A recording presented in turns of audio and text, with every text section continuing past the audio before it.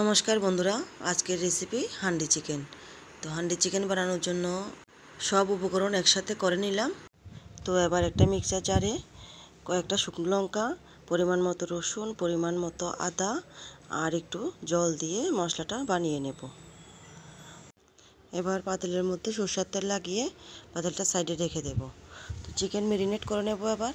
Chicken marinate করার জন্য আমি একটা বলে চিকেনের মধ্যে টক দই দিয়ে দিলাম। দুই চামচ টক দই দিয়েছি। তো পেস্ট করা মশলাটা এবার দিয়ে দেব। পেস্ট করা মশলাটা দিয়ে পরিমাণ মতো হলুদ, পরিমাণ মতো ধনে গুঁড়ো, পরিমাণ মতো জিরে গুঁড়ো চিকেন কারি মশলা দিয়ে দেব, গরম মশলা দিয়ে দেব। টুকরো করা আলু আর পেঁয়াজগুলিও দিয়ে দেব। তারপর মিক্স করে নেব। সর্ষের তেল দিতে ভুলে গেছিলাম। সর্ষের তেলটা দিয়ে দিলাম। একটা গোটা রসুন দিয়েছিলাম।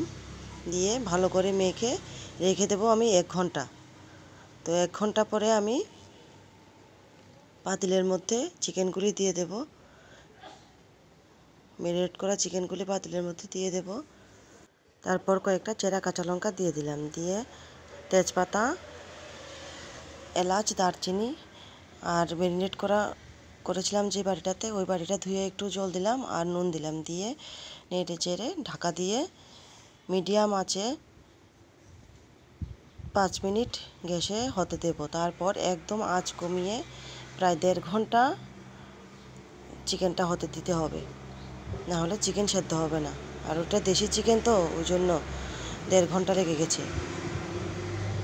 তো প্রথম বানিয়েছি, ওই জন্য বুঝতে পারিনি, কিন্তু জলটা আর একটু জল দিলে ভালো হতো। যারা কষা কষা চিকেন খেতে পছন্দ করো, তাদের জন্য ঠিক আছে, কিন্তু আমাদের ঘরে সবাই একটু ঝুলঝাল খেতে পছন্দ করে, তাই একটু ঝুল হলে ভালো হতো আর একটু তো পরের বার আর একটু বেশি করে জল দেব। তো দেখো আমার চিকেন রেডি হয়ে গেছে। তো পোলাও বানিয়েছিলাম, পোলাওর সাথে পরিবেশন করেছি। তো ভিডিওটি কেমন লাগল অবশ্যই জানা